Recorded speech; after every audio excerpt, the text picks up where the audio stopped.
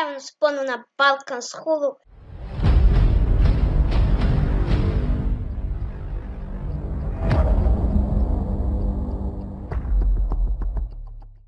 I kao što vidite, ispred nas se nalazi jedan neverovatan džip. Sad ću vam pokazati kako on izgleda i šta sve on ima uh, specifično uh, što nemaju drugi automobili. Znači, uh, vidite, on je onako ko neki vojnički džip. Ali nije običan džip, nego kao što vidite, kad stavimo DL, imamo heltove, znači, sad ću ga ja fix, da vidite pun uh, health koliko mu je, John Ross Poz. Eto, kao što vidite ima 200 helta. 1998, ali to se računa 2000 helta. Kao što vidite, tu je namenjen auto za uh, neke pljačke.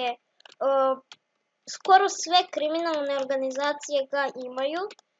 Uh, I baš je ono super auto. Dodali su na update u 2.0 ove još 1000 kelta da bude baš onako ko otporan na metkove i to sve. Tako da baš je super. Ne može ga lako uništiti kad vas neko roka, kad dostavite, ro, dostavljate rob ili tako nešto. Pa ništa, idemo ga isprobati kako ide i tako dalje. Idemo na, prvo na ovom asfaltu, ide kao što vidite 156 na sad, znači nije ni čudo da ide više za ovaj Hammer ili kako bi ga nazvali, veoma lična kamera. Idemo sad port do važnog mesta, uh, idemo, to jest idemo poslovi, pa ovaj farmer, to nam je tamo u blizini, samo da vidimo gdje nam je Mount Chiliad, ovako, eto ga ovdje. E tako, malo su, idemo bolje organizacije na FMA, tako, ovdje sam već naučio putanju do Mončilijada, tako da idemo odatle. E, moram reći da ovom automobili su e, mnogo porasli cene. Znači ovaj automobil je koštao na primjer 500, 400, možda i 600k, a sad ga ne možete naći ispod 2 miliona. Znači, ako ga nađete za 2 milke, to vam je super, bukvalno, pošto svi ga prodaju iznad cena i bukvalno imaju ga većina admina. Ima ovaj auto tako da teško ga je naći. Eto ja sam jučer našao, imao sam sreću od lidera GSF-a, pozdrav za njega.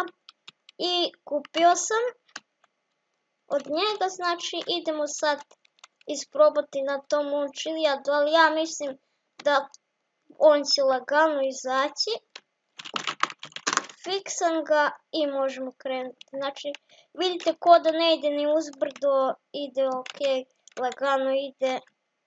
Eto, dok stavim nitro, a joj, ide nenormalno brzo. I onako okretan je i što se tiče stabilnosti, nije baš stabilan da je stalno na točkovima. Znači, ako idete u neki zavoj ili tako nešto, može da se prevrne, onako dosta dobro može da se prevrne, ali nije mu to mana, znači ide on odlično. Idemo znači, također ako pravite neke, na primjer, RP akcije što se tiče neke žardermerije, policije, to je baš dobro, onako vojnički izgleda ovaj Hammer. Skrećemo vamo sa ovim felnama onako izgleda kao neki sportski kamen. Ima četiri sedišta, to je prebrutalno. Možete natrpati vaše drugare i onako, baš ok.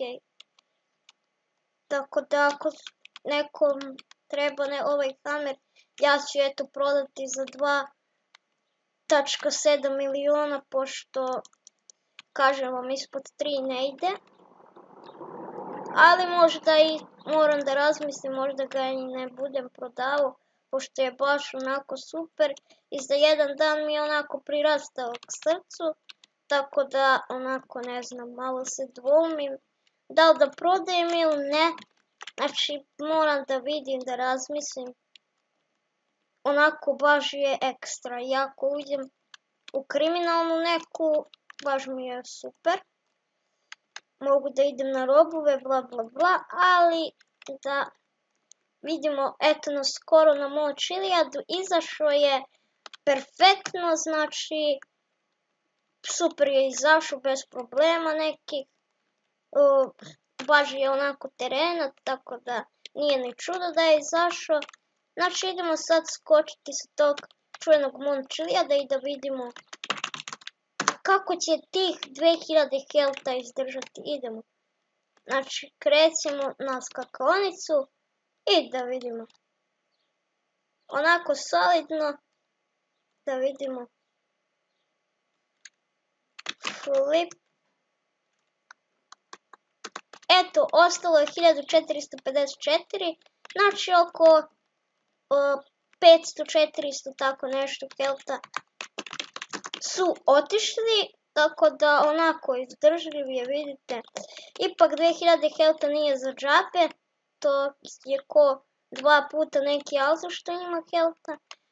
Znači ništa, ako vam svidio ovaj klip ovog automobila, bacite like, subscribe i obavezno pišite koji biste htjeli auto vidjeti u sljedećoj epizodi. I vidimo se, čao!